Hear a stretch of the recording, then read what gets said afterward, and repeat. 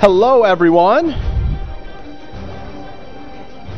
Let these last few get seated here. Thank you all so much for being here. Welcome to the Toledo Hockey Hall of Fame induction ceremony for the class of 2024. Uh, some thank yous to get out of the way before we get going here. Uh, special thanks to our partners here from Imagination Station, uh, allowing us to host this awesome event here. Uh, thanks to everybody that is live streaming, watching this on BCSN. Tonight, we will induct five new members to the Toledo Hockey Hall of Fame. These five gentlemen left their mark on this city throughout the years in different ways, and they are all still being celebrated here today. Before we get to the inductees for the this year's Hall of Fame class, I did want to recognize the back-to-back Riley Cup champions from the Toledo Storm who are in attendance for this huge weekend.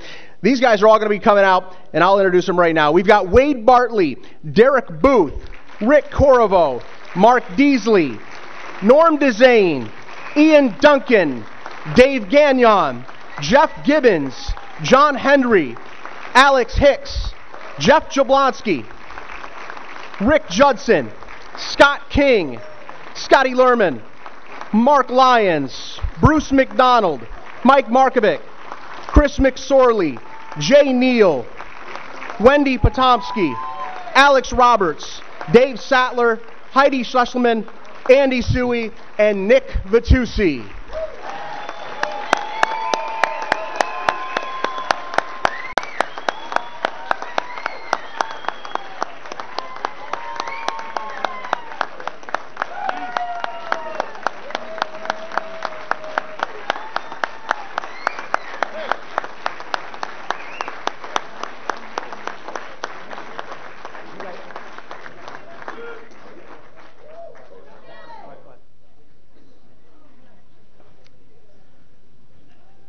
Let all these guys get settled in, find their seats.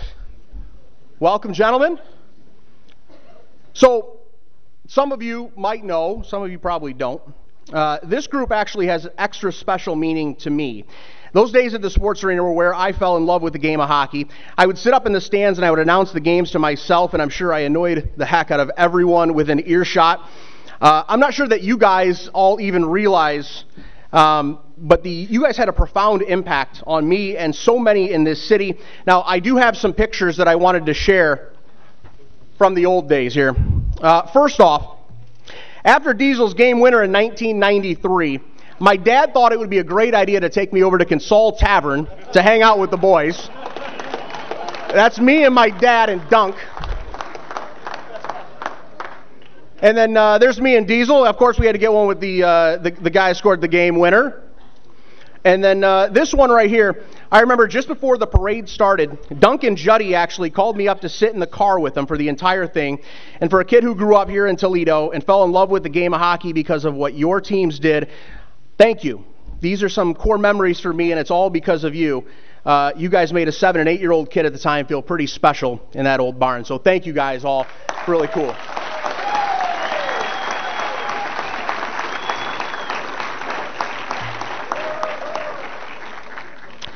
This Hall of Fame was created to honor those individuals who have excelled as athletes, as coaches, and those individuals or staff members who have been fervent supporters helping to shape Toledo's hockey heritage. The nomination and selection of candidates is determined by the Toledo Hockey Hall of Fame Committee, made up of former coaches, players, team historians, and media with the input of Toledo hockey fans. To date, we have inducted 27 individuals into the Toledo Hockey Hall of Fame, which is visited by thousands of people throughout the year at the Huntington Center. At this time, we'd like all of you that are Hall of Fame members already to stand as your name is called to be recognized. From the class of 2016, it is so darn good to see Rick Judson here tonight.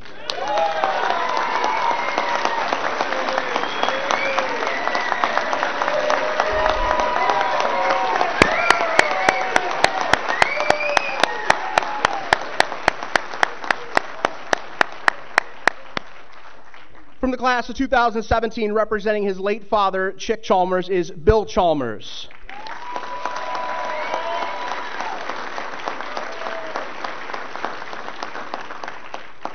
Representing her late husband, husband Paul Tantardini, is Ruthie Tantardini.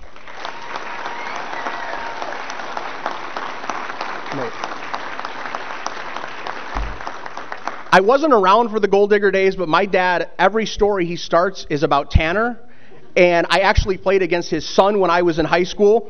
And uh, yeah, my dad would tell me some fun stories of, of old time hockey with, with Paul Tantardini.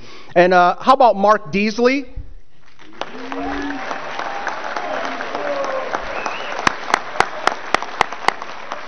From the class of 2018, Dave Falkenberg. Also from the class of 2018, Jim McCabe. There he is. From the class of 2019, Chris McSorley.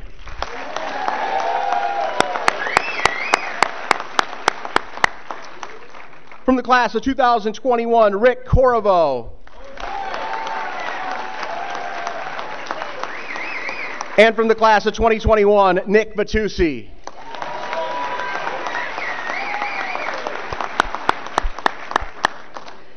To distinguish the unique uh, history of Toledo, candidates are determined each year based upon the eras of professional hockey in Toledo.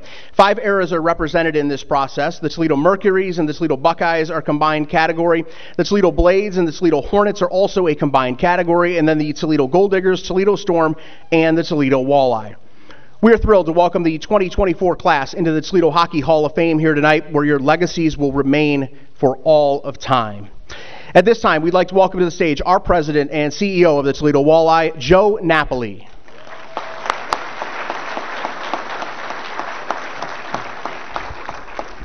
I, um, I do want to start off by apologizing for Jordan's uh, slideshow.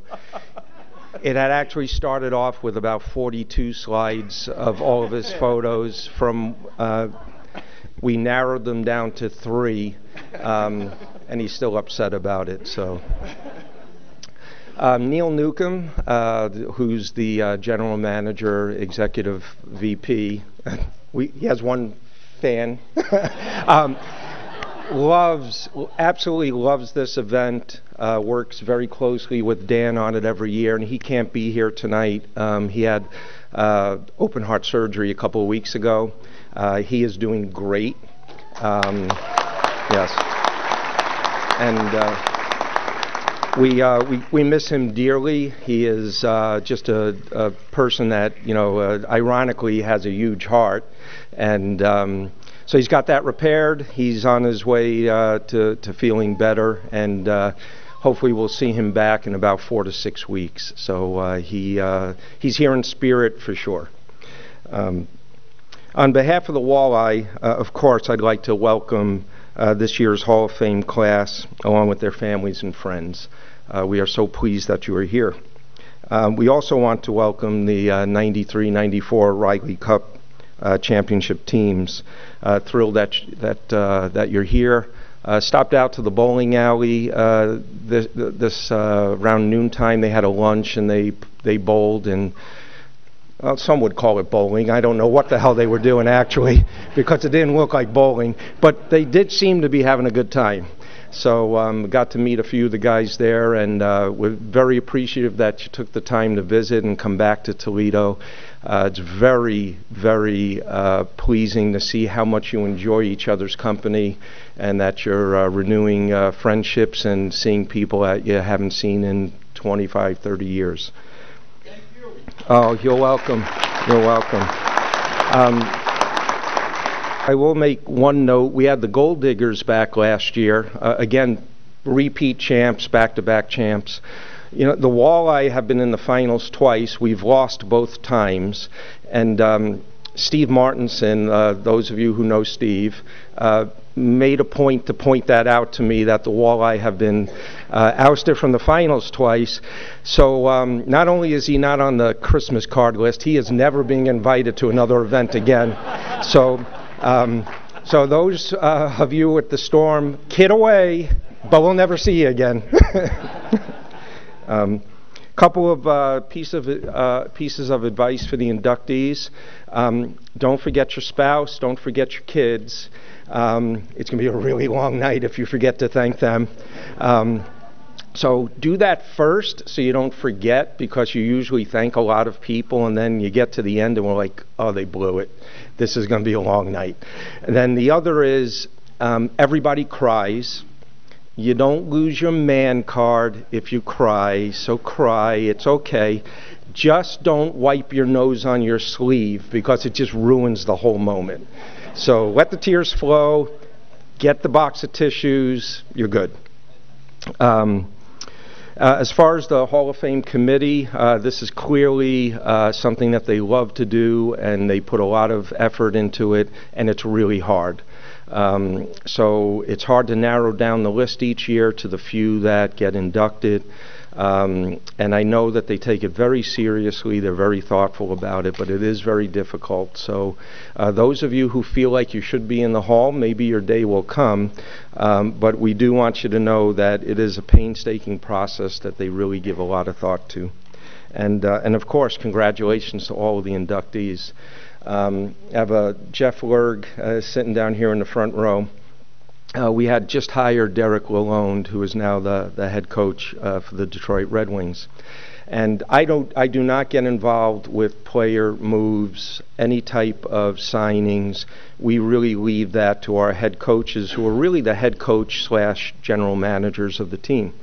And uh, Derek felt compelled to call me, and he says, uh, "Well, my first, uh, the first guy I'm going to sign is this guy named Jeff Lerg." And I said, "Well, that's great, Derek. Um, uh, thanks for letting me know. And he goes, well, he goes, you know, he, he won a championship at Michigan State. Um, he f- Frozen Four won the championship. He says, uh, mm, you know, they're trending in the NHL towards these giant goalies, six six, six seven goalies. And he goes, you know, Jeff's five eight, five nine, and he goes, I just wanted you to know. And then he says, uh, he's not five nine, he's five six. and I said, okay. And he goes, but he is going to be the most important person that I sign. And uh, I've never forgot that phone call. Then I had the pleasure of meeting Jeff uh, at our holiday party that first year, and it quickly, quickly became clear as to why Jeff was the first person that Derek signed. So I'm going to end on that note. Thank you for being here. Love that you're here. Uh, and uh, again, thanks once again.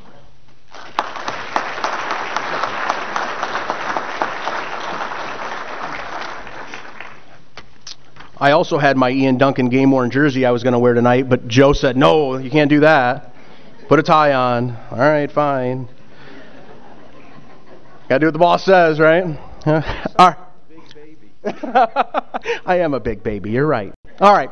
Uh, let's get this ceremony kicked off with our first inductee. Barney O'Connell played for the Toledo Buckeyes and the Toledo Mercuries from 1947 to 1951 and was part of two championship teams. This year, we told each inductee with a surprise video. Dan Saevig made the phone call to Barry, Barney's son Tim to deliver the incredible news. I wanted to show you this. This is your dad along with a couple of his line mates. He had an unbelievable career in Toledo. Yeah. He had such a great career that I'm pleased to tell you, Tim, that your dad is being inducted into the Toledo Hockey Hall of Fame this year.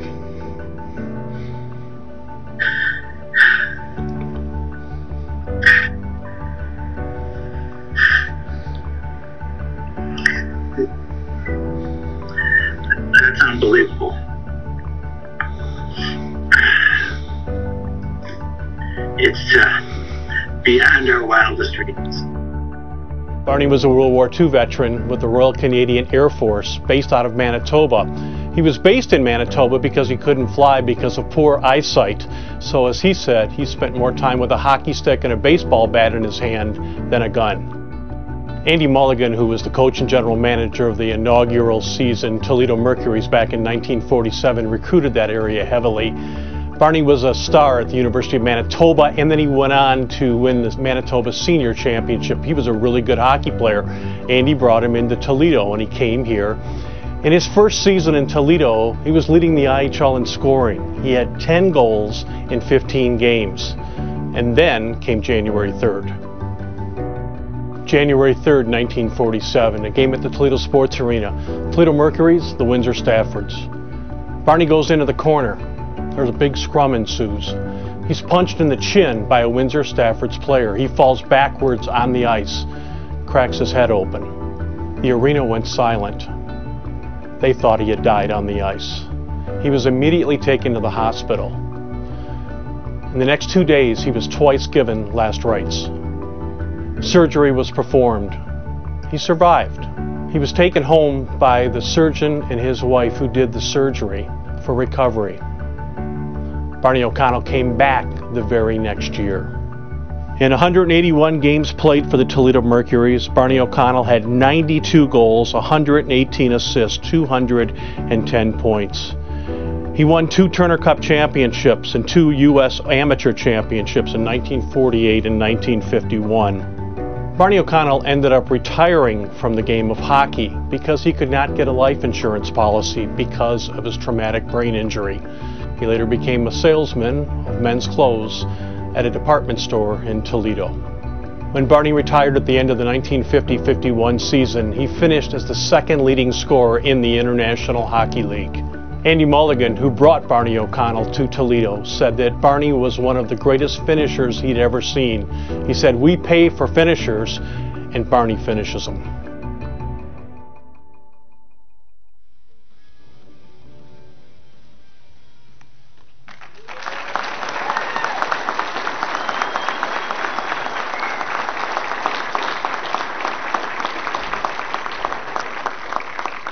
Barney O'Connell is being inducted as a member of the Toledo Mercuries, and at this time we'd like to welcome Tim O'Connell to the stage to accept on behalf of his late father Barney, who is the newest member of the Toledo Hockey Hall of Fame.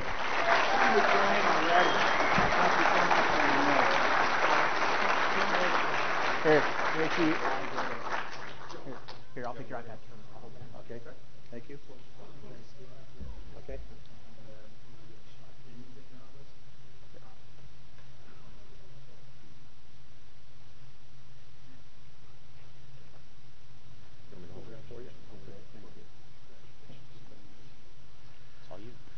Thank you. Thanks, Dan. I think you covered it.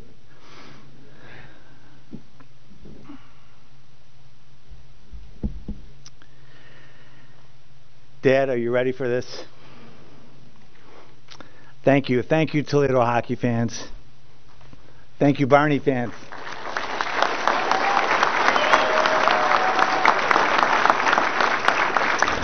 To the back to back Riley Cup champs and Hall of Fame inductees, it's my honor to be up here with you.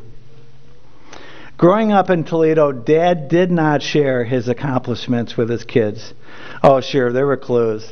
The dusty old hockey bag, the fact that all our relatives were Canadians, and we we were the only kids on the block who knew what a toque was. we couldn't attend a sports arena event without somebody stopping them. But beyond that, we, we really didn't understand what all the fuss was about. Though he didn't, my mom did share an occasional beauty with me, like this one, one in which I'm, I'm not sure I've ever shared. Um, it was late in Dad's last season. She was expecting her first child, and she went into labor on the afternoon of an evening playoff game. Dad had a choice to make. He chose to play. Nerves and all. And he scored two goals, both of them for the other team. the following day's paper never reflected his miscues, but only mentioned how his goalie was screened all night, how his team rallied and pulled out the win. It went on to state that Barney's daughter, Shannon Patricia, was born at 9:30 that evening, sometime during the second period. I believe my mom's version, and that the sports writers showed him grace. On behalf of my sisters Shannon and Terry and our extended families, many of whom are here today, and those who are only with us in spirit, including my mom B, brother Tom, and sister Sue, we are all so grateful for this evening. It's extraordinary that a game he loved, a team he loved, and a city he so loved would recognize him after so many years. The wait, in many ways, makes his evening more special.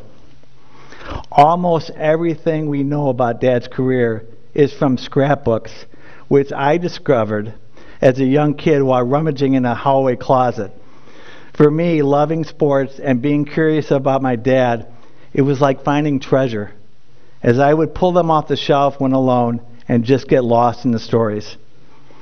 Yes, there were lots of articles about his, his and the team's accomplishments, but more than those, I eventually learned how important Toledo hockey was to him, and maybe a little about how important Dad was to Toledo hockey.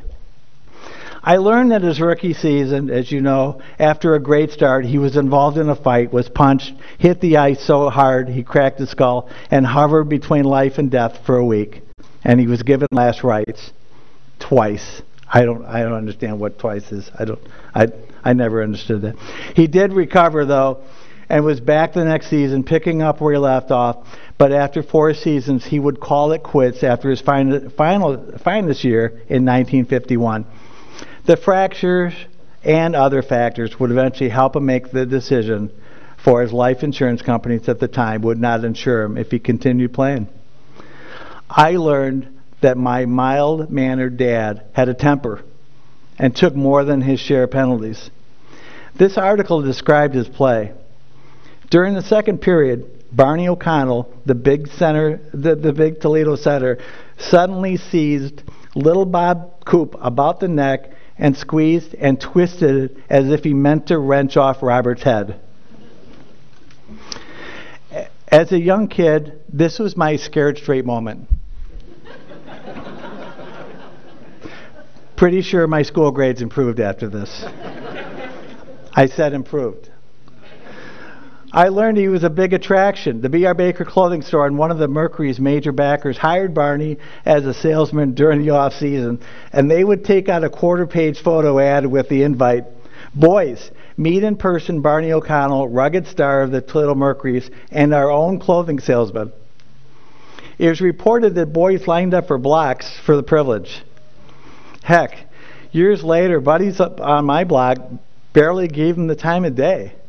Am I right, Jeff, Tim, Rich? Um, heck, his kids barely did.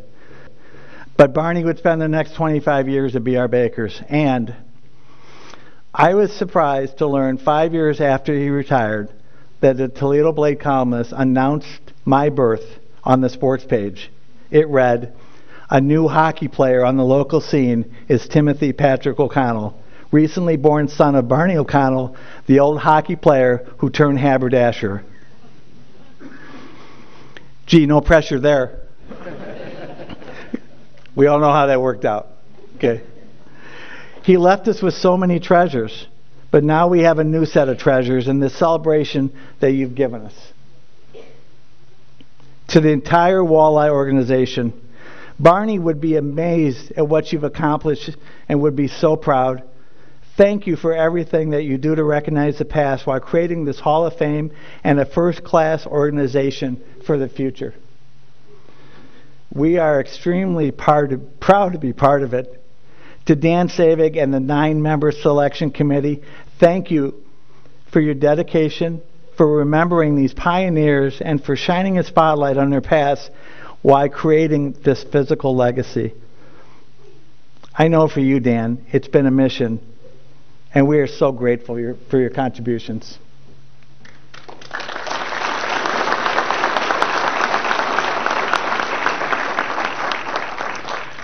to Barney's fans, I understand the fan vote represented just a small lift to Dad's entry, but I won't tell Barney's fans that. I don't know how much the fan vote really lifted Barney, but I do know how much it lifted my mom and me during the past couple years. Thank you for your love and support. My son Ryan asked me, What would Grandpa say today? He'd be 100. I think I have a good idea. In addition to those I mentioned, I'm certain he would begin with his wife, Bee, who joined him from Winnipeg and was always his biggest fan and supporter throughout his life. His story would be incomplete without her. He would want to thank the Gladieux family for kickstarting Toledo hockey with that $1,000 investment to join the Eye not to mention for building the iconic sports arena. He would want to thank Dr. Rollin and Mrs. Keebler, the Toledo neurosurgeon who was credited for saving his life, and his wife who took him into their home for convalescence after his hospital stay.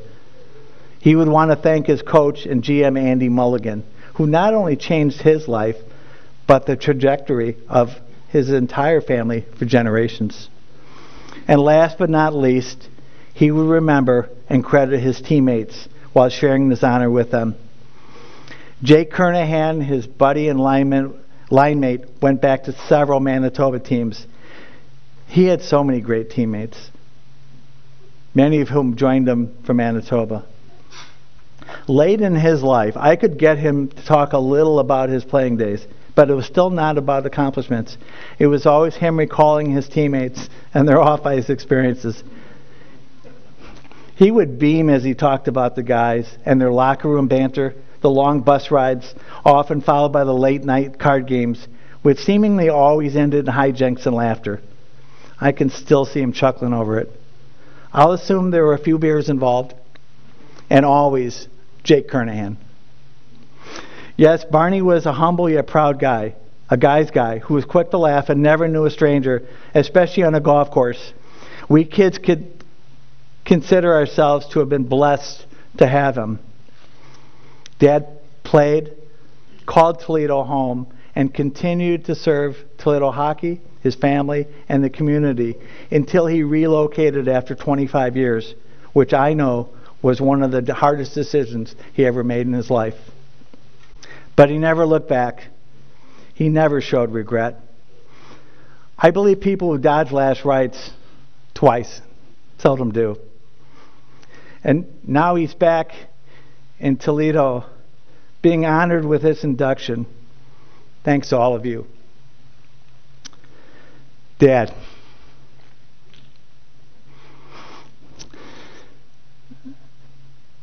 I am so honored and privileged to be the first first one to welcome you into the Toledo Hockey Hall of Fame. Welcome home, Barney O'Connell.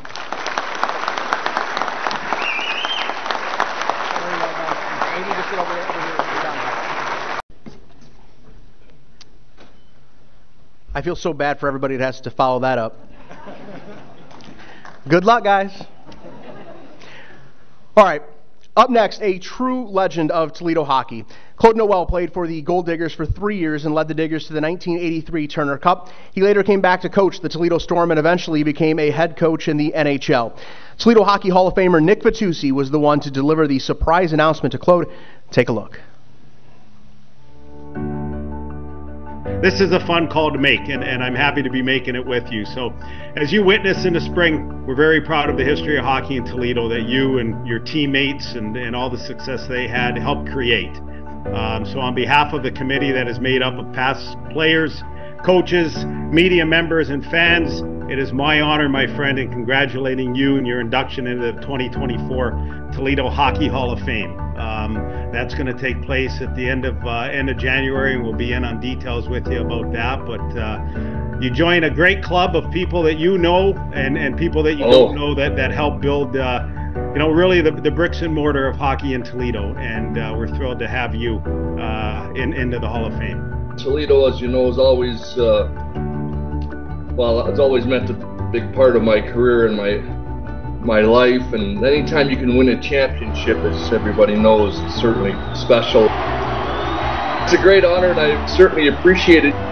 It was the 1982-83 season. The Toledo Goaldiggers were looking to repeat as Turner Cup champions in the International Hockey League.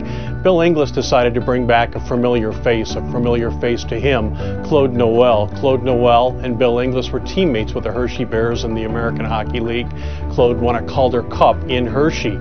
So Billy brings Claude in in the 1982-83 season, and what does he do? He turns in a season for the ages. During the 1982 season, Claude Noel played in 82 games. He scored 42 goals, had 82 assists. That's an average of one assist per game, a total of 124 points. In the playoffs that year, as captain of the team, he scored 18 points in 11 games. And when the team received the Turner Cup on the ice at the Mecca in Milwaukee, it was Claude Noel who accepted it and made the first skate around the rink.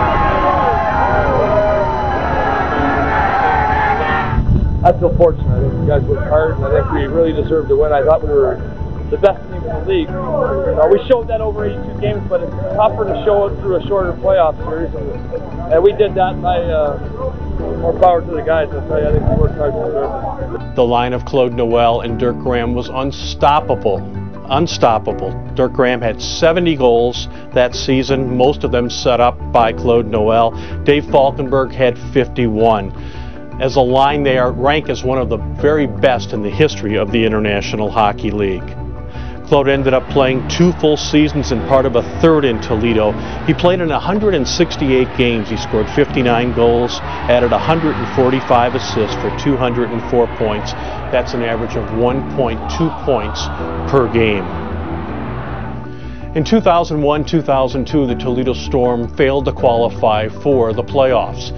So they decided to make a coaching change. Dennis Holland was out. Claude Noel was brought in. Claude had served as an assistant coach with the Milwaukee Admirals in the American Hockey League. He comes in, he spends only one season in Toledo, but what a season it was. The team wins the Brabham Cup under his leadership. He wins the Coach of the Year award in the ECHL. Toledo Engineers under Claude Noel, one of the greatest turnarounds in the history of the ECHL. The team finished 47, 15, and 10 in winning the Brabham Cup. Claude's performance in Toledo results in him going back to Milwaukee, this time in the American Hockey League as the head coach. That very next season, after his success in Toledo, what does he do? Claude Noel is named Coach of the Year in the American Hockey League, and the Milwaukee Admirals win the Calder Cup. Claude's success in Toledo and in Milwaukee earned him an opportunity at the highest level of professional hockey in the National Hockey League. He went on to coach four seasons, first with the Columbus Blue Jackets and later with the Winnipeg Jets.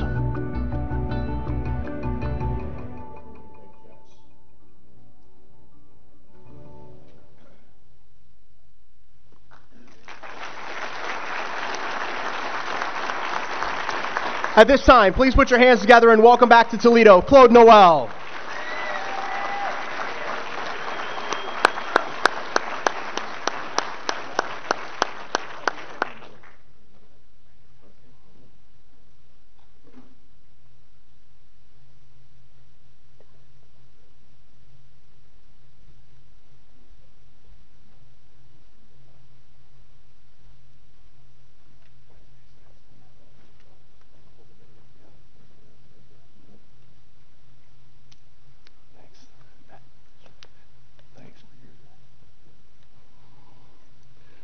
Well, this is a little. Well, this is a little overwhelming. I didn't think that many people would show up today, but my goodness, this is scary. This is my speech right here. No, that's my uh, room key right here. there it is. you know, there's.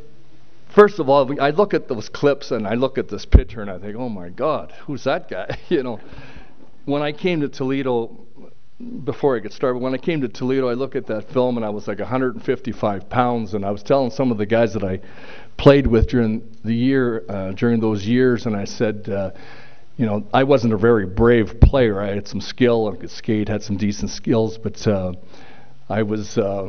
I told him I was allergic, allergic to wood because I would never go in the corners. I had guys like Falkenberg, Dave Falkenberg, and Dirk Graham did all the work, you know, and I just kind of benefited from their work but I was allergic to wood. Anyway, you know, it's certainly an honor to be here, and uh, it's very humbling to, to think that uh, my career led to this. You know, when I when I uh, well, first of all, I'll start off with a little bit of a story because Joe had mentioned about make sure you thank your wife and your kids and stuff like that. So I get hired in in Winnipeg as the first head coach. They had lost their team for 15 years. It, the team had moved to Phoenix, so they didn't have a team and I was uh, coaching there with the Manitoba Moose, and I end, ended up getting they ended up getting the team back. I ended up being hired as the coach, and this was just a circus because it happened a couple of days before the draft in Minneapolis. And sure enough, we go into the press conference where all this is taking place. And in Canada, it's a little bit overwhelming, and it was just packed. Now, I thanked a couple of people, f- forgot to thank my wife, and this was in 2011, and I've paid the price ever since. so I will start off to say, first of all, thank you very dearly to my wife, because I think without a good support system, I don't think that you. Uh, you really have a chance. And we've been married over 40 years, and she's been there to support me all the time.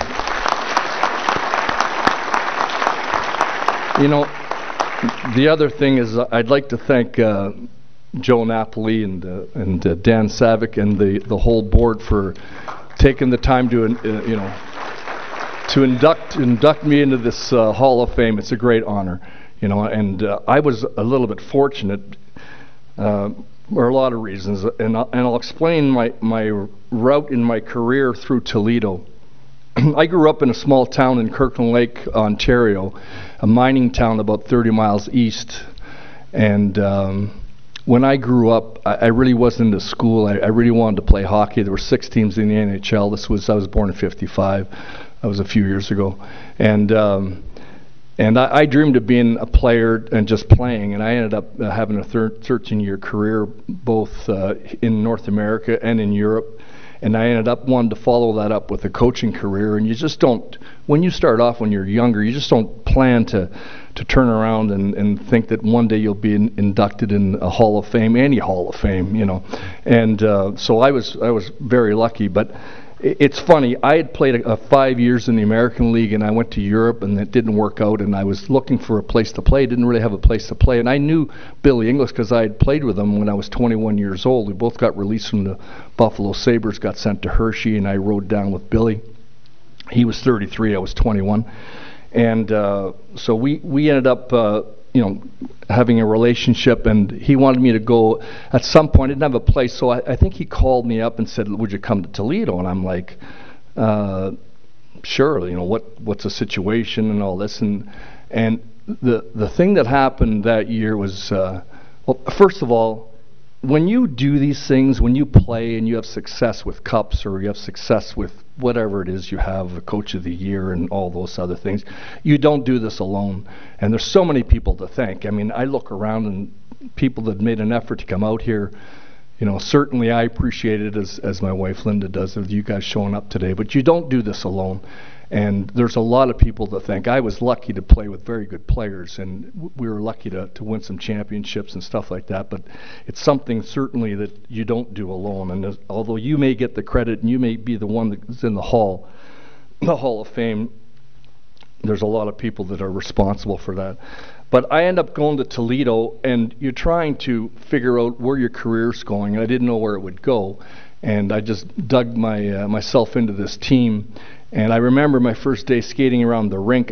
I had been in the uh, Buffalo Auditorium with the Buffalo Sabres in training camp, and they had a small rink, but this Toledo arena was unreal. I remember going behind the net before the practice started, and I was standing behind the, on the glass, and the net's there, and usually you have a distance between you know your stick and the net well you couldn't put your stick down flat behind the net there wasn't enough space and when you're allergic to wood there's nowhere else to go but in the middle of the ice you know and i thought this is going to be unbelievable this building turned out to be really good but what ended up happening was we had a very good year. We ended up winning the cup. I ended up going back uh, to uh, to Europe uh, I, as a 27 year old, and I, I played in the second division in Salzburg, Austria. I was a player head coach and that never worked out. And it came back and played again with the the Goaldiggers uh, again, and then eventually got traded. Things didn't work out, and then went on again. And then I decided to get back into to uh, or to try to have a coaching career. But the year, uh, and then when I started to coach, I remember, you know, first of all, congratulations to the back-to-back Storm team. And when I got into coaching you know, the funny thing is, is I really got a, a, a, There's a lot of people I say to thank, but I really got some help from Chris McSorley. Chris and I had played together with the Goaldiggers, and I called him up and I said, I'm in North Bay, Ontario. I'm making eight thousand dollars a year. I've got two jobs, one at the beer store and one in the plastic company. So I'm working three jobs, and we've got two young kids and I was an assistant coach to uh, the North Bay Centennials, a junior team. And I called Chris McSorley up and I said, Chris, there's one team that hasn't hired a coach yet in Roanoke, Virginia.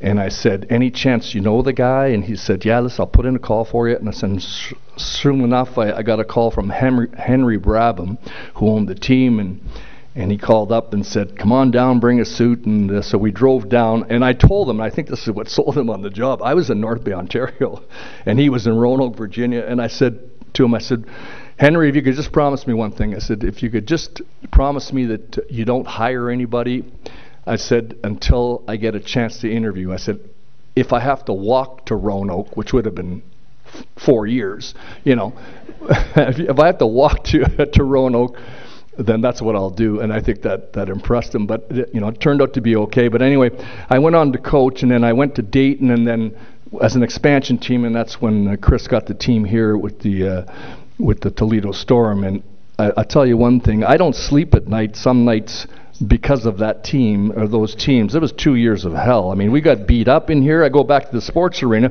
and I'd wondered why we had only lost three games with the with the Toledo Goaldiggers. Well, I go in, I go in as a coach with the Dayton Bombers. I'm in the visiting room, which I'd never been before, and I swear, I swear, there was one light bulb hanging hanging down. It was like a bowling alley, and I thought your bags had to be kind of you know, you almost dressed in shifts, and you had nowhere to stand. And in the sports arena, if some of you guys remember, in the sports arena, when you walked from the ice up a couple of steps and then down in the lobby, and everybody was smoking in there. Then you walked into the room. It's fine when you're playing for the Toledo team, but when you're coaching the opposition team, it's funny how quick they forget.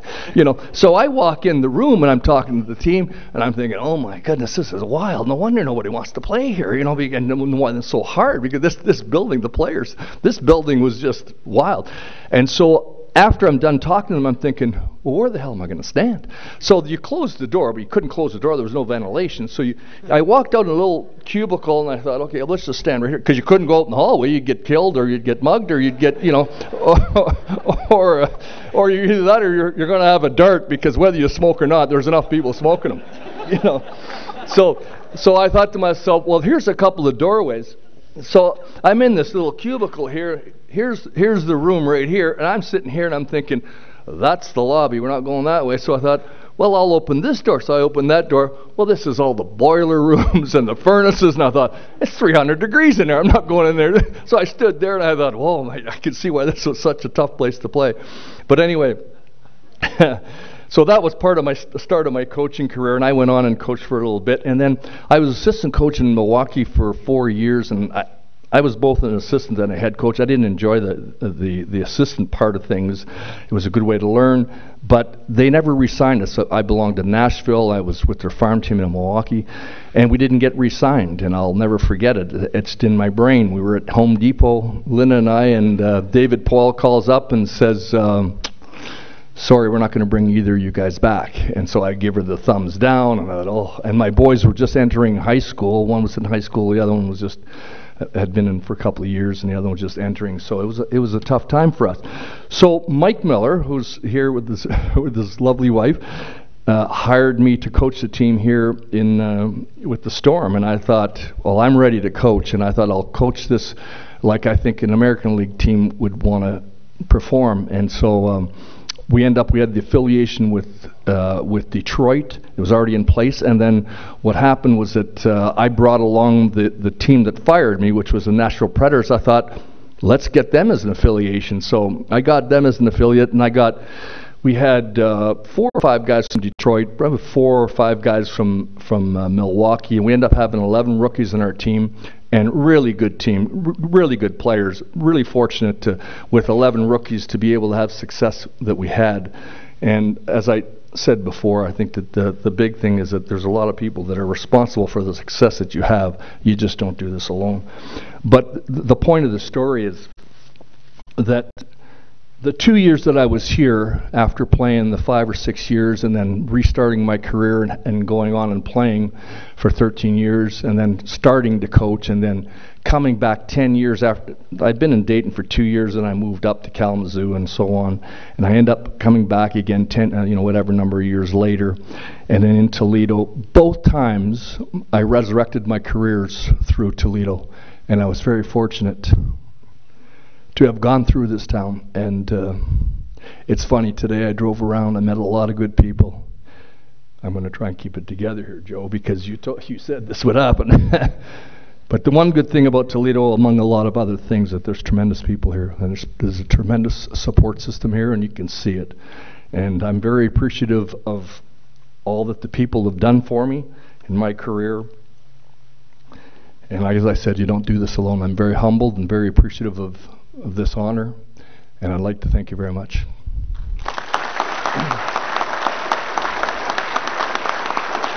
Very good. Yep. Over there. There's a water in there if you need it. You got one though. Yep, you're good. I will never get tired of hearing old sports arena stories. I, I actually suggested to our team, we're like, hey, we want to make everything like it's a storm game for this weekend, right? So I said, well, maybe we just let everybody smoke in the building. Uh, we'll just we'll throw we'll just throw a bunch of like juice on the floor so your feet will stick as you're walking through the concourse. I can feel what exactly what it was like back then. sorry, sorry, Joe. Sorry, Joe. All right, moving on. All right. Up next, this man needs no introduction to hockey fans in Northwest Ohio. He was a star at Bowling Green State University and later became one of the key pieces to the Toledo Storm, winning back to back Riley Cup championships. Ian Duncan is the newest member of the Toledo Hockey Hall of Fame, and to pull off the surprise, we enlisted the help of his former teammate, Derek Booth.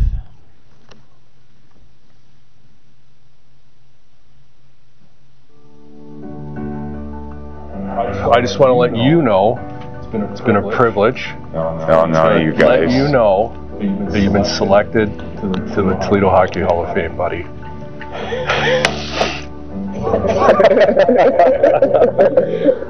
Thank you. You're freaking. Thank you.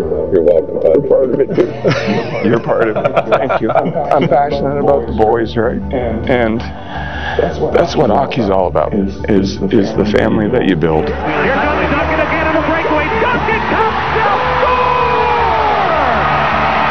Ian Duncan was a four-year letter winner at Bowling Green State University. He began his career at BG with a bang in 1984. The Falcons win the NCAA championship, and he played a key role on that team. But that role increased even more throughout his tenure at Bowling Green. He put up unbelievable numbers, and he went immediately upon graduation from Bowling Green State University to the Winnipeg Jets in the National Hockey League. During the 1987-88 season, he was named to the NHL All-Rookie team with the Winnipeg Jets. Ian went on to play 127 games over four seasons in the NHL, scored 34 goals and added 55 assists and a bunch of penalty minutes. What Ian Duncan brought to the table also made it very difficult for him to stay healthy. He played hard. He liked to play the body. He would go to the gritty areas to score goals, and he would do whatever it took. He played with that edge, but as a result, he suffered a number of serious injuries, including knee injuries. And if not for those knee injuries, Ian Duncan would have never played in Toledo. But Chris McSorley, he wanted to win a championship. The team won the Brabham Cup in 91 92. He needed a real stud, and he needed a captain, a leader, somebody that would follow in the locker room and on the ice. So he brought in Ian Duncan for the 92 93 season. And the numbers that Dunk put up were just unbelievable. He, he scored 40 goals and 50 assists in just 50 games that very first season.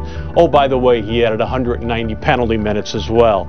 In the playoffs, 16 games played, 9 goals, 19 assists, with 28 penalty minutes. Toledo doesn't win that cup that first season if not for Ian Duncan. Duncan back to Roberts now. Duncan out in top. Deazeley scores! The Storm win the Riley Cup! Mark Deazeley scores the winning goal. The sports arena erupts as the Toledo Storm win the 1993 Riley Cup championship. Ian Duncan, congratulations on East Coast Hockey Championship. And Duncan gets the cup, holds it high above his head from the penalty box, and attempts to skate around the ice. Yes, folks, the Storm are the Riley Cup champions. Ian sat out most of the following 93-94 season, but he returned in time to perform his magic once again. Ian played only eight regular season games that 93-94 season, but put up 14 points. Then in the playoffs, Ian Duncan was Ian Duncan, recording 17 points in 14 playoff games, and once again lifting the Riley Cup, this time down at Dorton Arena in Raleigh, North Carolina. Ian also played the 94-95 season in Toledo. He finished his career in Toledo with 55 goals and 92 assists, 147 points. He did that in just 95 games. And of course, he was a stud performer in the playoffs. 48 points in 34 games played in the postseason for the Storm.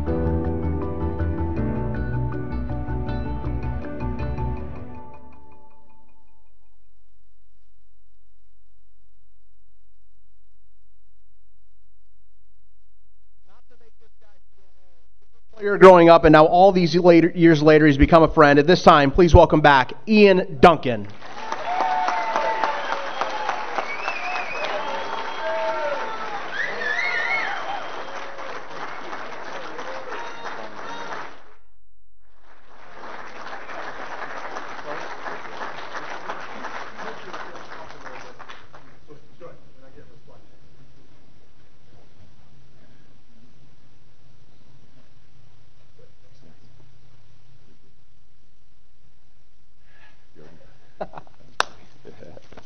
Thank you. Thank you. Much appreciated. Well, I the boys. A lot of them already had to use the restroom, I see. Um, that's from too much water intake. That's nothing more. So, and I know, I know uh, all the players and uh, people that know me. Um, you're going to take the under on me bawling, so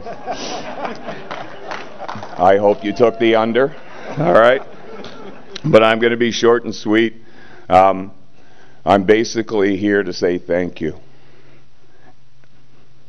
And it's already started. So you win if you took the under.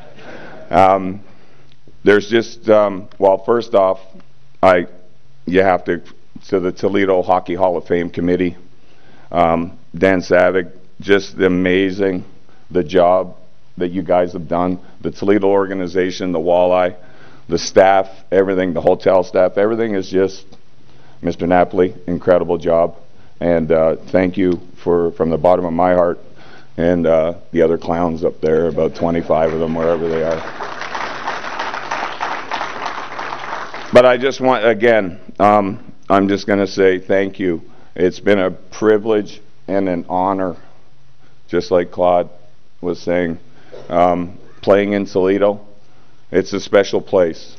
Um, and I'm, I'm not going to mention Bowling Green a lot, Dan. Um, I know this is the Toledo Hockey Hall of Fame, but uh, this area is like my second home since 1983. And um, who knew I would end up playing in Toledo? Because I know, I'll tell a funny, quick funny story. The dime beer nights on Tuesday nights, the Goaldiggers. Um, so we'd come up with five bucks in our pocket from Bowling Green and drink as many dime beers as we can to watch the Goaldiggers play. So that was my first introduction to the Toledo Sports Arena, or as it's also known as the Toledo Sports Dump. And um, but we say that uh, we say that nicely because it was a special place, and um, just like Claude was saying, um, the first time I skated in the Toledo Sports Arena was the year I signed with the LA Kings after my five years in Winnipeg, and I tore the muscles off my spine in training camp with the LA Kings. So I came back to Cleveland where I was living at the time, and I live there now. It's a funny thing, and um, I rehabbed my back at the Cleveland Back and Spine Institute for three months. And LA's farm team at the time was uh, the Phoenix Roadrunners. So I called Chris and I uh, said, hey, they gave me the okay to start skating. Would you mind if I uh, come over and skate? Because I played against Marty in, in Winnipeg against the Oilers. And uh, Chris said, yeah, please, come on over. So I came over from Cleveland, skated for my first practice, I actually ran face first into the boards. Yes, I did. Um, the old, you know, you give the puck directly here, they gives it over the D, you turn this way, and I went flat right into those boards face first, and I'm like, wow. This is a small arena, and I played in Chicago Stadium also. Um, but it's just so Chris gave me the opportunity to come and skate. I went back to Phoenix, LA's farm team at the time, and um, I had a first slow slow start, no points in 10 games. Then I had 36 points in the next 26 games in in Phoenix, and I was on my way um, back, well, back to the NHL or up to the LA Kings at the time, and uh, supposed to go up on Monday, and I tore my knee up on Saturday night, another knee injury. So, but um, then after the knee injuries, Chris reached out to me that summer and said, what would it take to uh, play in Toledo? And we talked for a day or two, and uh, the deal was done. Um, but I just want to say it, is a special place. And the people that I want to thank the most, and here goes the bawling. Um, I want to congrat congratulate the other 2024 uh, inductees, O'Con Barney O'Connell, Claude Noel, Alex Hicks, and Lurgy Jeff. Congratulations, you're not 5'8". I said that right away when he was saying that. Very proud, very proud, man. Um, I want to thank.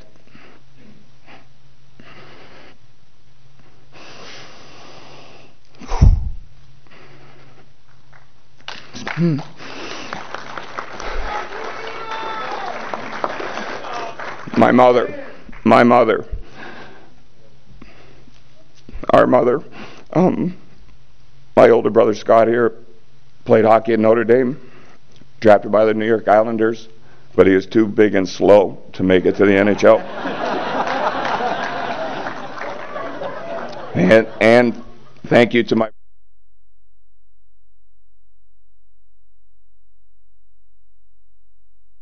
college, my game flourished for some reason. I don't know if there's a direct correlation or not, but we'll leave it at that. Um, mom, mom was a, our mother was the captain of the Canadian uh, women's field hockey team, and she trained her butt off. And um, I bugged my brother about not being so so much so talented or so much talented or whatever you want to say, but we were given one thing from our mother, and that was work ethic. And that's one thing that in hockey you have to have the work ethic as a team, not as an individual. And being a leader on a team, you have to be the hardest worker on the team. You have to be the first one there, last one out, out of the rink. And I tried to do that. Sometimes that happened at the uh, establishments after the rink. First one there, last one to leave. Um, but we were there every morning, um, ready to work. Um, the clowns that are here, and you all know who you are. Um, I see you smiling. Um, I can't thank you enough. You made me a better hockey player. Yeah, I played in the NHL. Big deal. This team in these championships mean more to me than the lifelong dream of playing in the NHL. And I've never had the relationship with a bunch of guys before, and hopefully through my work ethic and hitting a lot of people, scoring a few goals here and there, um, we were able to bring a championship, two championships to the city of Toledo. The, the Moran family, I can't say enough. Um, the Rasmus family, a few people know who the Rasmus family is here in Toledo. Mark, Mark owned Tomahawk Development, died of cancer 15 to 16 years ago. And I first lived with the Rasmus family as I knew them from Bowling Green when I played for the Toledo Storm my first year. And I also want to thank my son.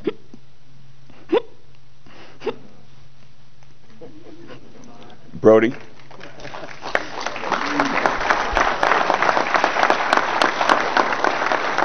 And Abby, thank you for coming. Janie and my granddaughter, she under there sleeping somewhere? Brinley, okay. But I just wanted to say, as everybody knows in this room, Toledo is a special place, and we all know that. And it's great to see. I haven't seen some of these guys for 20 years, but it's just like we uh, we got off the bus on Saturday night uh, from a long uh, road trip to Nashville. Um, it's funny how we always stayed in Nashville all the time, um, even though we didn't play against Nashville, Chris. Um, it's kind of funny. Nashville was in the league at the time, so we'd go on a 10 day road trip. We drive straight to Nashville. We're going to Greensboro, Birmingham, and okay, so we went to we went to Nashville, and that, that was our hub for the next 10 days.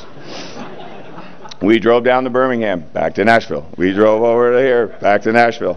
And uh, if you remember the beautiful hotel that you put us up in, Chris, the planes, trains, and automobiles. yeah. So I just wanted to say thank you to everybody that is, is here in attendance, and especially to all the players that I played with when I was able to gain these championships. Um, I think there's, what is there, D's? You said seven of us that were on both championship teams. So um, cheers to you guys. Uh, Juddy, glad to see you're moving around again. And uh, I'm sorry. And can we all raise a glass and a cheers to Barry Potomski? His, his uh, sister is here. I don't know where she's at.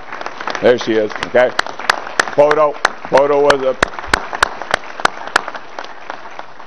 Poto was one of the main reasons that uh, we won our championships, and also why stepped on the ice. So again, thank you very much. Have a great night. Go fish.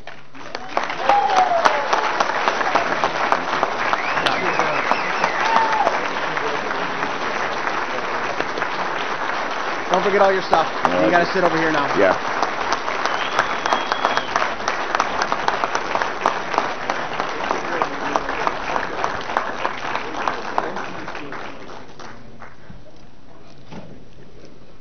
When Dunk said he was going to keep it short and sweet, I was like, yeah, okay. No chance. When Dunk said he was going to keep it short and sweet, I was like, yeah, okay. No chance. All right, our next Toledo Hockey Hall of Fame inductee was also part of those legendary Toledo Storm championship teams. Alex Hicks was also a huge part of those back to back championship teams. He would eventually go on to play more than 250 games in the NHL. We surprised Hicksy with the news and let his former teammates, Iain Duncan and Derek Booth, share the big news. Hicksy! What's up, good? Hey! I got Dunk with me. Hixie! I just I just told him something pretty special and he wants to tell you something right now. Hixie, I got a question for you. Or I got something to tell you. Alright. Just wondering, are you coming to the reunion? Oh, yeah. Would you like to be inducted into the Hall of Fame with me? Oh, absolutely. Hey buddy, congratulations. You've been selected to the Toledo Hockey Hall of Fame, bud. oh, my God. That's With, the best. with this guy right here. We're going in together, Duncan. Yes, Yep. sir. Right. Sorry, Yeah, hey, sorry I had to lie to you a little bit about getting you on the phone, buddy, but no worries. I appreciate it. I'm looking forward to seeing you guys. Alex Hicks is unique. He's unique for many reasons, but perhaps what makes him special in the annals of ECHL history is that he was one of the very first players to help establish the ECHL as a proving ground of AA hockey where one player can make the jump from AA all the way to the National Hockey League. Alex came to Toledo in 1992 out of the University of Wisconsin-Eau Claire Division III hockey program. It was his first opportunity, although he put up great numbers in college hockey, to prove himself at the professional level, and he did just that. As a rookie, Alex played 52 games, scored 26 goals, had 34 assists, 60 points with 100 penalty minutes. In the playoffs, 16 games, 5 goals, 10 assists, along with 79 penalty minutes. He provided a nice mixture of scoring and abrasiveness, which was so important to that team. My name is Alex Hicks. When I score a goal, I like to churn some butter.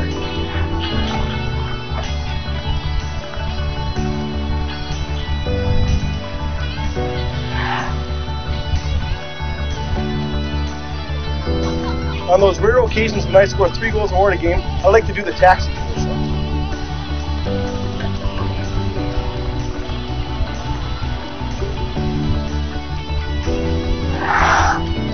Alex Six, only choice, the Toledo Storm. He returned during the 1993-94 season as Toledo went on in pursuit of that second Riley Cup, playing 60 games, 31 goals, 49 assists for 80 points, and a whopping 240 penalty minutes.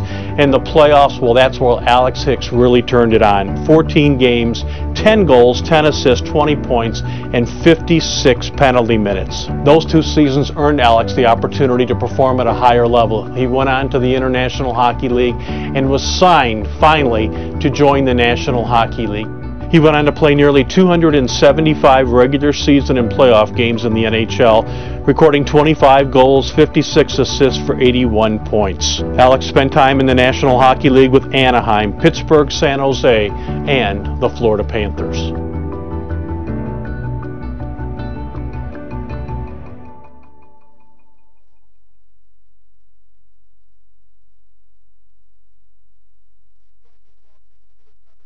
Hockey Hall of Fame, Alex Hicks.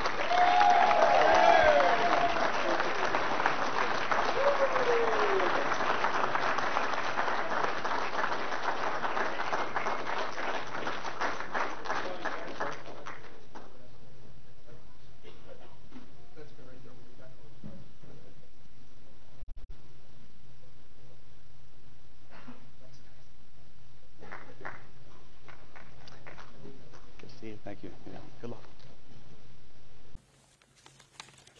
Is it hot in here or what? I'm like sweating. It's uh, it's supposed to be cold, and it's like, well, thank you for having me. This is uh, it's a, it's an honor. The other inductees, just to hear your speeches and your stories, it's been incredible. Uh, to be here and, and see all these old teammates and go out and have a couple beers and reminisce about stories, it's been fantastic. Um, and Dan, you've done a great job. Um, obviously, being in contact with us and getting this all done, it's it's incredible. Um, I kind of want to just tell you a little story. Like you, you, you all know how the story ends. Like in whatever, I went on and did a couple things. Um, but coming here, um, the story was I, I, I came out of Division Three. I went to Washington Capitals camp and had dreams of playing in the NHL, like we all did, and went there. I scored a couple goals in like not preseason games, but inter squad games. I'm thinking this is this is pretty good. I'm doing all right, and first cuts come and I get cut. And I'm like, like what the hell? And um, I actually, I was fortunate enough to meet Rick Corriveau there, and we played a little golf there, if I can remember, and and he got cut, and so we're like, what's going on? And they're like, well, we want you to go down to Hampton Roads, and I was like, Hampton what? Ham- like who? And they're like, yeah, John Brophy's going to call you, or John Brophy's in the room, and he wants to talk to you. And I'm like, it was all overwhelming for me. I, I went home and I was like, I, I don't know. I talked to my dad, John Brophy, and Hampton Roads. I don't know, and then I just didn't know what to do. And I, I, was a college graduate. I, I figured I'd start my life, and then Chris McSorley calls me. And I just knew him from his brother, and I didn't know who Chris was. And he's like, "You got to come. You got to do this. You got to do that. It's gonna be great." And blah blah blah. And sold me like only Chris can. You know, he. so I was like, "All right," like you know. So they got me a flight. It was like a six legger from Calgary to to, to, to Regina to Saskatoon somewhere else, I don't know, then a bus somewhere, and I get picked up at a bus, and I walk into the to the sports arena, and um, the first guy I meet is Greg Puhalski, and he's like, I think maybe 28, 29 at the time. I don't know. I, I'm probably dating him, and yeah, beer belly, and and and so I thought like, all right, so this dude's like works in the staff, and and He's like, no, I'm, I'm your teammate. I was like, uh, what's, what's going on here? Um, wh- where am I? And um, So we walk into the sports arena and, and, and we're getting jerseys and getting equipment ready and doing all this stuff. And, and then McSorley brings me in his office. He's like, okay, you're here. And, you know, it's, it's, there's a lot of guys. There's a tryout. There's a lot of guys in NHL camp still. Guys are going to be coming down. And I just want you to work hard and finish your checks and play hard and like, go hard and do what you're supposed to. You know, this. And I'm thinking, dude, I just came from Division Three, and I'm a scorer and a playmaker, and I've never hit anybody or fought anybody in my life. And he's like, do this and do that, and blah, blah, blah. And I'm like, I might have swore. I'm like, all right. And so we go out for the first scrimmage, and I'm doing what I'm told. Like, I'm very coachable. I'm like, so I'm running, I'm going north, north, just north, and dumping it, and finish, and I finish, and I finish. And I end up hitting this guy pretty hard, and then I go and pick up the puck off, and I score a goal. And I hear from the stands because McSorley's up in the stands watching it, and he's like, "Patty, no, no, no, Patty, stop, no, Patty, Patty." Well, I hit Patty Pylypuik, and he was going to come and beat the shit out of me, and I was like, like, what's going on? What's happening here? And so the, game ends, and I get in the locker room, and, and Patty, something happened, and he found out I was from Calgary. He's like, Are you from Calgary? And I was like, Yeah. He's like, Oh, so then we became best friends, right? He's like, So I'm good. I didn't have to worry about Patty anymore. So I'm th- thinking, like, where am I, right? Like, what's happening? I'm hitting somebody and doing what I'm supposed to do. The guys want to beat me up. I've never been in a fight in my life, so we get an exhibition game a couple nights later before I get my first shift in Toledo, before I get my very first shift, there's seven fights in the Toledo Sports Arena. Seven fights. I'm sitting on a bench going, what the hell? Why am I here? I went to college for a reason. I felt like Ned Braden in Slapshot. I'm like, what, what, what am I doing here? And I end up going out. I get a goal, I get an assist, whatever. No, like no fanfare, nothing happens. Blah blah blah. I walked through the, you know, into the dressing room after, and we won the game, and and somebody in the stands as you're walking through is like, you know, Hicks, you like your big pussy, blah blah blah. And, and I'm like, what, what's going on here? Like, I scored a goal, I got an assist, I think I'm playing pretty well. It's my first pro game, and getting no love. So the next game we play, I think we played Louisville. I end up getting a fight, and I get absolutely pounded. And I remember Rick Corriveau at the bar after he's like, he's like, you were like Bambi, like your legs were down, and you was you were ragdolling. And I was like, dude, I've never fought before. He's like, oh, okay, you know, you know. So it was kind of humiliating, but when I got off the ice after the fight, the fans were like, oh my God, Hicks, like great, great fight, great fight. I'm thinking, okay, so if I score, they don't give a shit. if I fight and lose real bad, they like you. So I, I kind of transform my game a little bit. Um, so that was like my story here. Um, and to, to, be a part of a program like this and be part of this team, a, part of this city, it's all about the city of Toledo. To embrace that, hard work and tenaciousness and grit, it was incredible. And I relished in it. I loved it. I transformed my, my game. And because of this city, because of that, because of what they wanted from their players, got me to the NHL.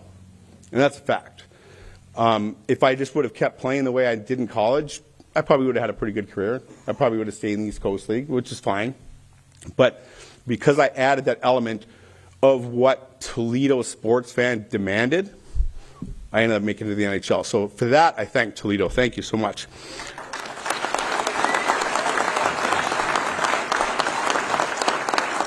Um, you know, there's, there's so many stories. Um, I could tell you so many things, and I don't want to go too on long. There's a few guys I want to mention. First of all, uh, Wendy Potomski, um, Barry's sister, she's here. Um, I just met her yesterday, right? Um, I got a text from uh, Andy Suhy, and, he, and, I'm the only guy at the bar responsible enough to go actually do this. He's like, "Hey, Wendy's at the, the hotel. Can you go get her and bring her? She wants to hang out with the guys." So I went, and so we kind of befriended each other, and um, he was such a big part of our first our first championship. Uh, I was fortunate enough to play with him, obviously here, but in Adirondack, and, and, then played against him in the NHL. And he was just a great player, great teammate. We all loved him, and he's missed. So, and thank you so much for coming.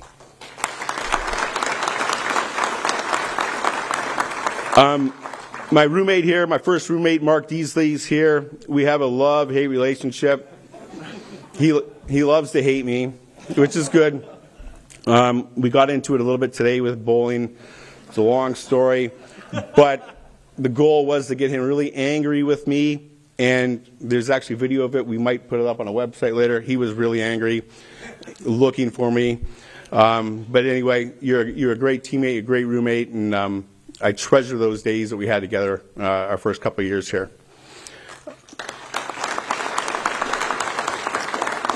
Um, another guy I mentioned, Rick Corriveau. I haven't seen him in 30 years.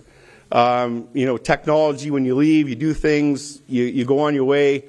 I was able to become friends with his brother, um, Ivan, but a guy that I learned so much uh, about hockey uh, the, the, first couple of years here, uh, his friendship, his leadership, um, how good he was as a player. Um, it, it, was really incredible. So I think you're you're you're an awesome dude, and it's great to be back. And I, I can say that a lot, about a lot of guys, but I, we have a special relationship. Um, I think you know that, um, and so I'm really happy you're here. Thank you. Um, uh, two more, like uh, number Iain Duncan. Like obviously, it's it's my pleasure, like an honor to be inducted with you. Um, we all know Iain's story. Iain took me under his wing like no other as a player. Um, and I've said it in many interviews.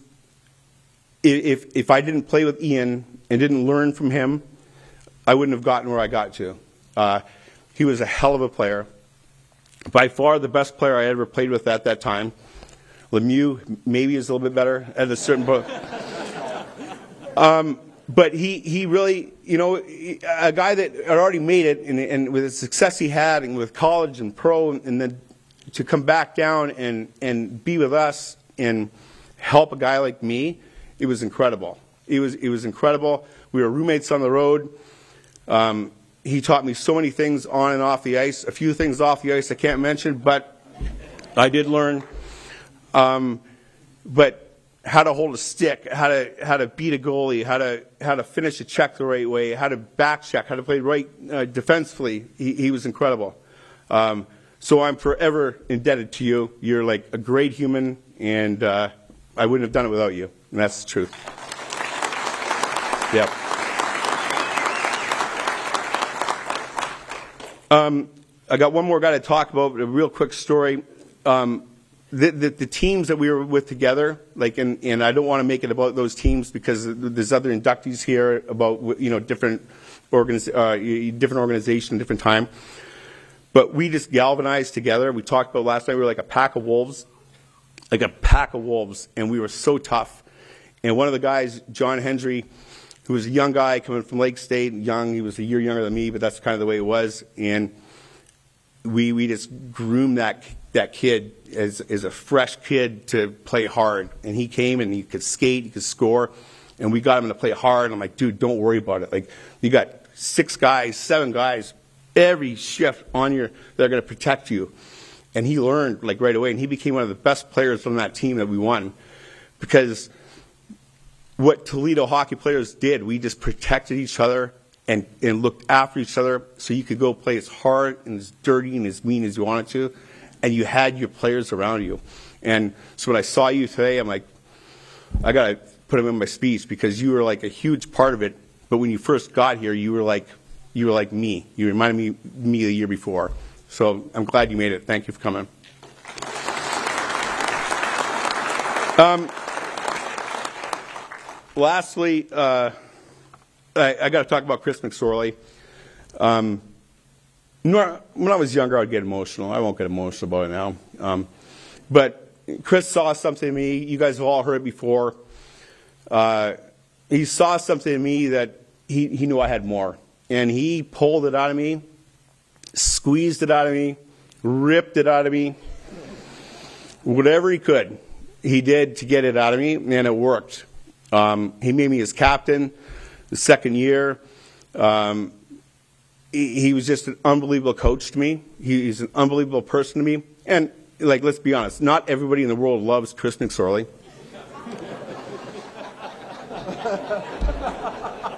Aiden, Aiden, it's true. Not everybody loves your dad.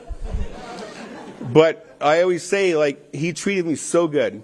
He treated me so good and was so honest and helped me so much that I definitely would not be standing here and I wouldn't have played in the NHL without him. Um, like, I'm forever grateful to, uh, for you, Chris, for that. Uh, we have a great relationship. Uh, you're, you're just a wonderful person to me, so I, I thank you for that. You guys can clap for Chris.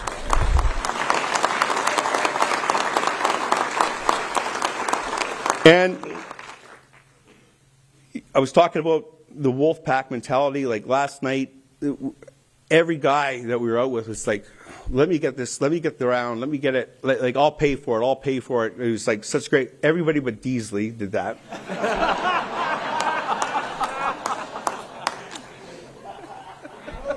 you know, and so some some things never change. Some things never change. I, I told you I was going to get you. I said I had the microphone tonight. Anyway, uh, I've taken up too much of your time already. It's it's such a privilege to be here. I'm so happy to be here. I'm glad you all came, and I'm going to have a cocktail or two tonight. Thank you.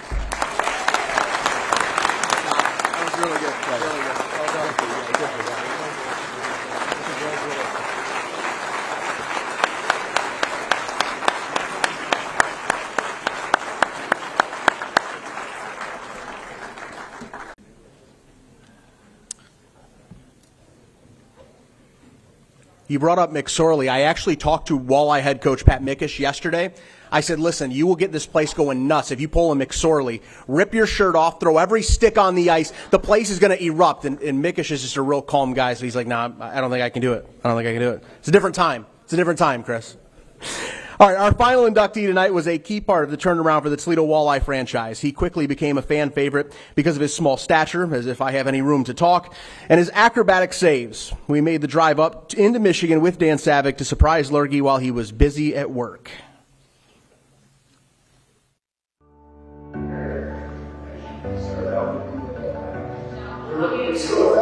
What's going on? How are you? Long time no see. What's up? How you doing? I'm doing great. I'm doing great. Catching me in the work environment. We're catching you in the work environment. Yeah, yeah. So as you know, we've had thousands of hockey players who have played in the city of Toledo. Yeah, yeah. Thousands. But only a select few are considered great. Those people who are great go into the Toledo Hockey Hall of Fame. And we're very pleased and excited to congratulate you, you, Jeff Lerger, the newest member of the Toledo Hockey Hall of Fame. Congratulations. So. Congratulations. Well, you know, Toledo's a special place in my heart. Uh, three awesome years. Uh, love the city. We embraced it. My daughter, my wife got to see my last game with the whole family. So that's my special place. I still have my final uh, leaving of the rink photo in my basement. So special place. I appreciate it. Couldn't be more honored. Thank you. Bottom line is this Jeff Lerg is a winner. Jeff won the national championship in 2007 with Michigan State University. He was an absolute stud in the postseason. He recorded a goals against average, a minuscule 1.25 with a save percentage of 954 in the tournament. Those are unheard of numbers for a netminder. He turned pro as part of the New Jersey Devils organization in Trenton, then went to play overseas. He came to Toledo as the very first signee of new head coach Derek Lalonde.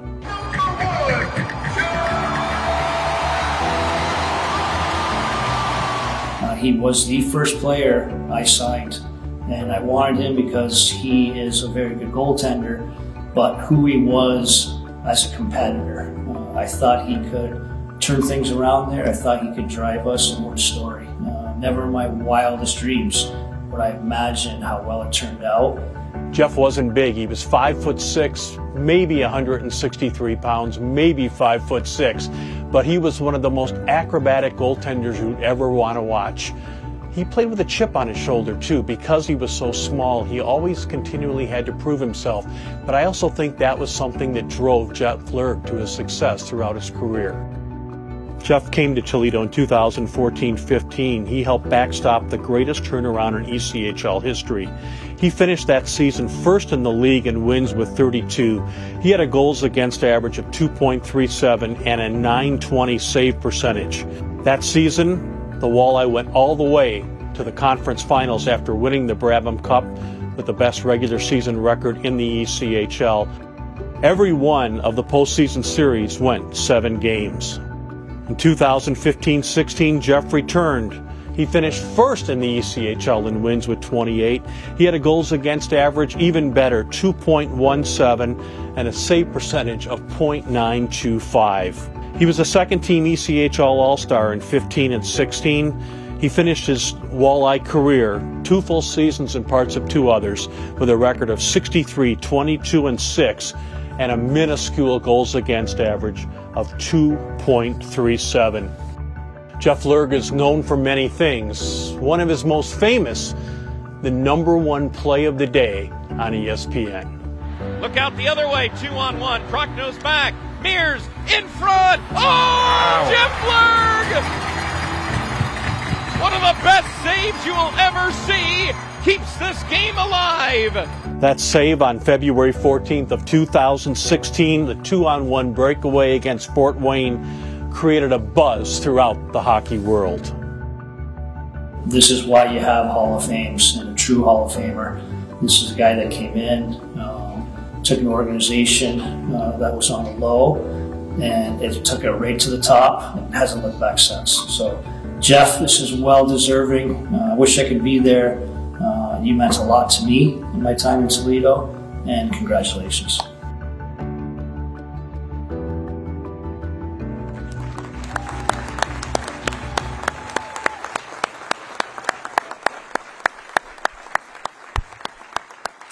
Jeff Lerg is going into the Hall of Fame as a member of the Toledo Walleye. Please welcome back Jeff Lerg.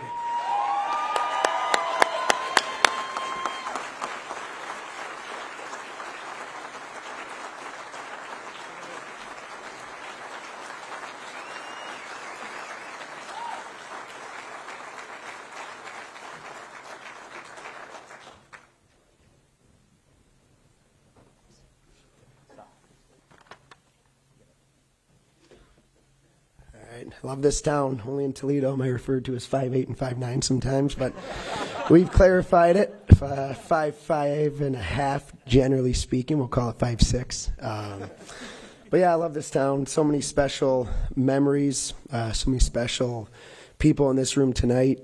Uh, first and foremost, Dan and Joe and uh, Neil Neukom, obviously first class organization and operation. Thank you so much um, for getting everything going and, and honoring me here tonight.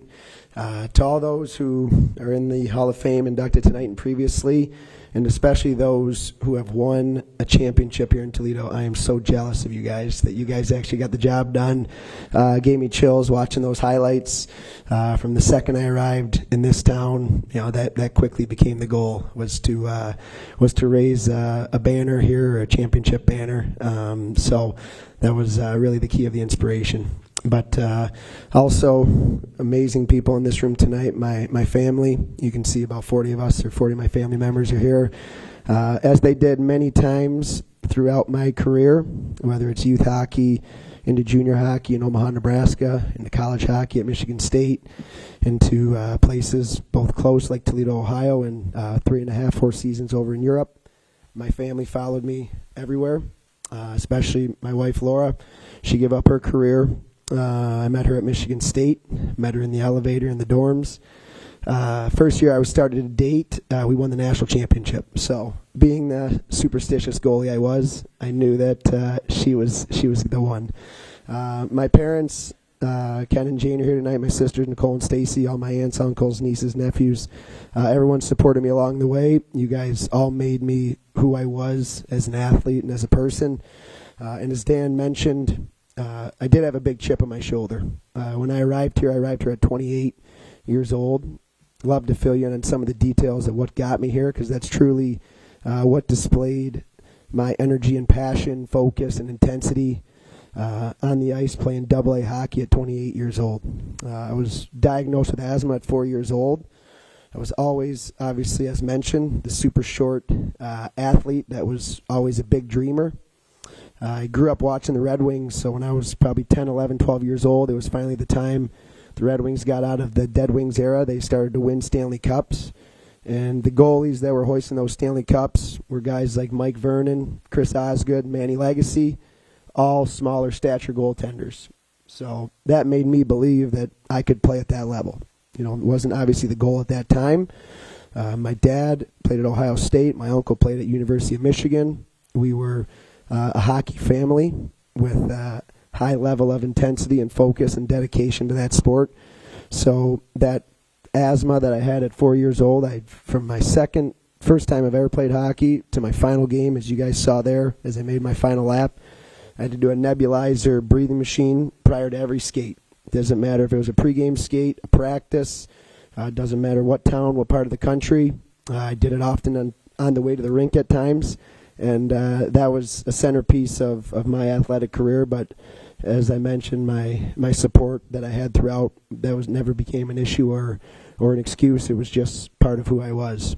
Uh, so when I get to third grade, go to the eye doctor with my mom, and uh, we walk out of the room. Uh, she left bawling that day after the doctor told us, "Well, Jeff's legally blind in his uh, left eye, so all his right eye does all the work.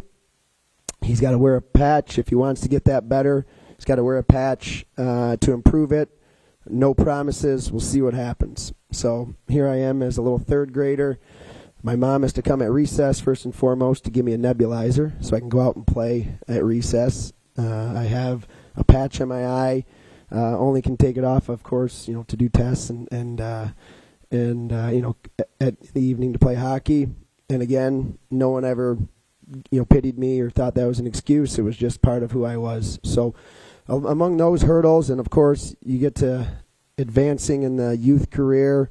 I start to notice as I'm a teenager that even though my success as a youth hockey player was was fairly high for for you know where we were in Metro Detroit, we always had kind of a top ranked team nationally. I was always the starting goalie, winning state championships and, and doing everything you're supposed to do. Started to notice that other goalies at that time started to get more looks in the junior level and even in the college level. So it finally kind of hit me, you know, they must not think I'm good because of my height. So uh, I went to Omaha, Nebraska in the USHL. Uh, an awesome coach there. He told me a phrase that I'll never forget. It, it rose, you know, lived with me throughout the rest of my playing career. Uh, the coach's name is Mike Hastings. He's currently the coach at University of Wisconsin. He told me, if you think you're ready to play at the next level, you better dominate your current level. So to me, that's where that chip on my shoulder grew. It was right there. I said, okay, if that's the goal, I'm going to prove I'm going to dominate. So I took that quote, took that inspiration, took my background with my hard work, thanks to my, my dad and his and his DNA he passed along to me, and I said, every year I play, I want to be the goalie of the year, and I want to win a championship. So lo and behold, next year I was the player of the year in the USHL in Omaha, Nebraska. And guess what happened? Did not get a full ride scholarship to Michigan State. So I go to Michigan State to our visit. Uh, again, never forget this phrase. The coach, uh, Rick Comley was his name. Of course, I love him. He played me for 74 straight games eventually. But he told me, well, we can't tie up two full ride scholarships and small goalies. I said, well, it doesn't matter if you're short or tall as long as you get the job done. So again, that chip on my shoulder continued to grow. And uh, again, we spiraled that into a national championship and uh, was able to have a successful college career as an athletic and academic All American. And I was kind of riding high. I, I got to the same point in my career where, you know, every time I thought or people told me I couldn't be successful, uh, I proved them wrong. So a couple weeks left in my senior year in college, I tore my ACL. First time I've actually had a major major injury. Uh, I finished playing my final three games with a with a torn ACL. I think I was just uh, pure motivation and passion, and pretty blindsided on what what took place. But uh, I did get you know a real minor league contract, uh, even though I had a successful career, and did get invited to an NHL training camp just to you know as an invite. Three days before I left for that, I was going to go to the New Jersey Devils camp with Marty Brodeur and Kevin Weeks and Scott Clemmensen. I was really looking forward to just seeing how I paired up against those type of legends. I tore my other ACL. So now here's this, again, super short goaltender that pretty much set every record you could imagine in college, but no one wants him. Then I go and tear two ACLs. Really, no one wants me. At the time, my dad was being a good dad. He did what parents should do. Said, "Well, I think you should probably go get, go back to MSU and get a master's in finance." And I said, "I am a hockey player. I'm going to find a way to make it work." That was the passion I had for the sport, and that's why eventually uh, when I arrived in Toledo, those passions connected. But so I worked my way through. I still had this this drive to do what I you know envisioned as a as a youngster, play at the highest level I possibly could, and continue to prove people wrong. So mixed in some time in Trenton, uh, went to Italy, had some more injuries, broken thumb, torn groin, things like that. Everyone in this room has gone through that as a player. Eventually, I found my way to France, uh, where a former coach uh, he coached against me when I played in college. Um, he brought me over there, wanted me to be the starting goalie. I finally put together a couple good years of success, and that was the key connection. Because after my two years in France, that person, his name's Rich Mitro, currently coaches at Shattuck St. Mary's, great human being. He was friends with Derek Lalonde. So they were chatting that summer. Derek had just come over, taken the job here. Uh, obviously, the expectations were to increase the level of play here in Toledo with all the history and passion and success the organization has previously had. Uh, obviously, Rich sang my praises to Derek, and then we heard we heard the rest here. I arrived in Toledo, but that wasn't until I was 28 years old. So again, I'm 28 years old. I bounced around in the minors, had horror stories of travel, as these guys mentioned, playing in the ECHL, taking four train rides to get back on a bus, to go overnight, to go here and go there. And I still had that passion and that will to say, I'm going to prove people wrong. You know, I'm finally here. I'm back in North America. Uh, I want to show everyone I can play professionally at the North American League level. Have no idea where it's going to take me. But when I arrived, my intention was I'll just use Toledo for a one year little stopgap. It's going to catapult me into the next level of play. And then all of a sudden we get to our first home game and it's a sellout crowd and I can see the passion of the city and see the passion of everyone in this town. And then it kind of quickly became, well, you know what? If I don't end up going anywhere else, I'm very happy to stay here. So that type of passion uh, was displayed on that ice because Toledo quickly became my platform to take all those hurdles that I had as an athlete and take all those doubters. And I thought every single game, I said, it doesn't matter who I play, where I play, when I play, or what I'm playing for. I'm going to bring it and I'm going to prove everyone wrong. And you guys can see from those highlights, I was very unconventional. I had to use every ounce of my body in order to make saves and find a way. But I didn't do it alone. Uh, we had an amazing team that year. I think it was 2014 15 probably the most selfless professional team I've ever been a part of. You know, when you get to the minor league levels, usually the extra fifteen to twenty dollars a week became a big deal for everyone, and everyone tried to barter for more money. But Derek Lalonde found a way to get guys like me, similar at the stage of their point of career, late twenties, guys who had been, you know, had their chance and hadn't worked out. He got us all to be selfless. He got us all to believe in the team mentality and then obviously success came, and we fed off the energy of that town. And believe it or not, our first playoff series was not a sellout with the crowd. It was still a point in time when Toledo was slowly getting itself back, even though we were a first place team, into the passion we see here today. But uh, you know, some of the memories I have of having three straight game sevens. We always like to make it nail biters uh, for the fans. Those are some of the ones that'll that'll live with me forever. You know, I've never been, you know, when you're telling stories with friends and family, you don't often talk about losses. But uh, if you remember that season, 2014-15, uh, we got down three nothing in the playoff series. We made it to the conference finals. We are in South Carolina. They're a very, very good team. We got down three nothing in the series, and uh, a package arrived into our locker room. And Joe Napoli and management had uh, overnighted these T-shirts and I think the percentage on the back said 2.2%. You know, so you're telling me there's a chance. So that was that was the the odds of of a comeback, and you know, that was a special moment. The captain of our team, Justin Mercier, he looked at every single person in the face. He said, Do you believe? Do you believe? Do you believe? Do you believe? He went around the room. Every single person looked him in the eye. They said, We believe. We made it all the way back to uh, a 3 3 series. We won three straight, many of them thrilling games. Uh, we brought it to the Huntington Center in front of a sold out crowd. Uh, it was a 0 0 game into triple overtime, and finally, uh, Cinderella shoe dropped. But uh, it was one of the most memorable experiences in, playoff rides and hockey memories that I'll have in my life. Obviously, outside of a championship at Michigan State, it was it was a special moment. Many good people were a part of it.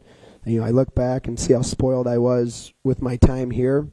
I mean, my two coaches were Derek Lalonde and Dan Watson. One's the NHL head coach of the Red Wings, the other one's the head coach of the Grand Rapids Griffins. You know, we, had Dan Jones, who's our strength coach, he put his heart and soul into into preparing us like it was his life depending on it. You know, he made me feel like I was Jimmy Howard playing for the Stanley Cup. You know, we had so many great people uh, along the whole journey. You know, I, I did try my best to to try to keep advancing my career as best I could. Unfortunately, uh, the only time I ever spent in the American League was a very uh, interesting day. It was a brief call up. I had been called up a handful of times. Uh, I'd sat on the bench probably for 10 to 15 games uh, in my career, just going in for a day, opening the door, coming back. Uh, but the one day I'll never forget, one of the most proud moments of my professional career, is that uh, with the walleye, we were in Indy. It was, I believe, a Thursday night. Newsy, Derek Lalonde called me in the office after. Uh, he informed me, hey, you just been called up to San Diego Gulls in the American League. They're playing in Bakersfield. You got to leave tomorrow at 6 a.m. So you're staying the night in Indy. So as all of our hockey guys know, you don't pack for a week, you pack for a day. And uh, there I was, staying by myself in the hotel uh, in Indy. Get up as you, you know you don't sleep after a game, so mixed in probably hour and a half, two hours of sleep. Early morning flight, get to the airport, fly from uh, Indy down to Houston, Texas, have a layover, Houston, Texas, over to Bakersfield, California. Again, only know one or two people on the team. Coach has no idea who I am. I'm just this little, you know, kid from Toledo. He doesn't even think I'm a professional. Um, get there, you know, you see the guys pregame nap. I go and I watch the warm up of the game. I prepare as if I'm going to play. And the goalie who was starting, I'll never forget, he had by far the worst warm up I've ever seen a goaltender have. I think I think he let up 95% of the shots. So part of me is thinking, well, maybe this guy's a gamer. You know, that's kind of what what he how he likes to operate. But uh, quickly found out uh, after it was one nothing, two nothing, three nothing, about four or five minutes in, that he wasn't a gamer that night. So uh, about midway through the game, uh, after about finally what 30 years old now, never played a minute in the American League. Had I possibly could up to that point to get a chance. Finally got an opportunity to go in and play my first minutes in the American Hockey League. Uh, 13 shots, 13 saves. Teams come, team comes back, makes it from a 5-1 deficit down to 5-4. Two days later, sent home, never to be back.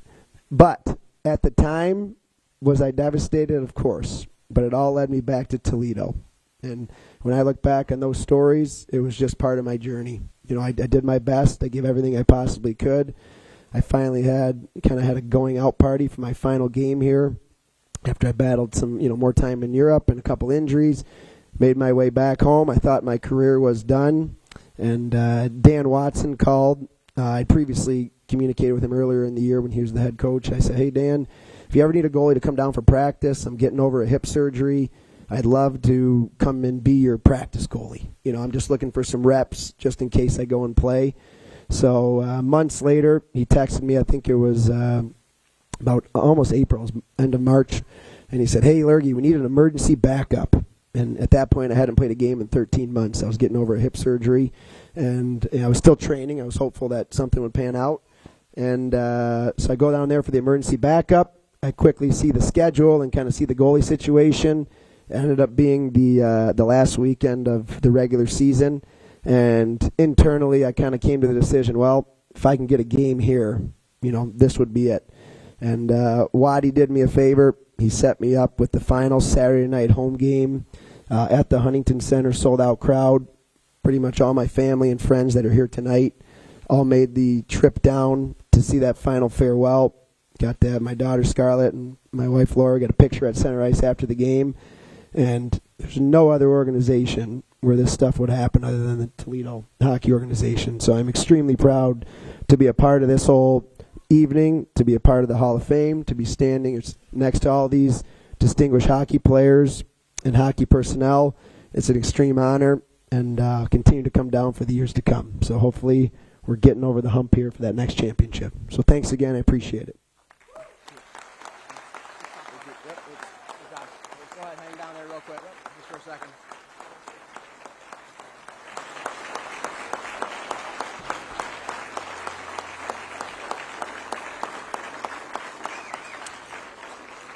All right, that is going to do it for our ceremony tonight. One more time, please give a big round of applause to all of our inductees to the Toledo Hockey Hall of Fame.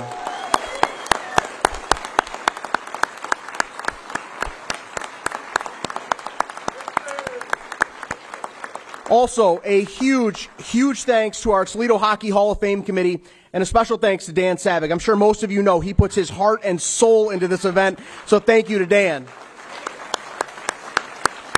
And we've got an incredible team behind the scenes who has put so much into this weekend to make sure that every little detail is perfect.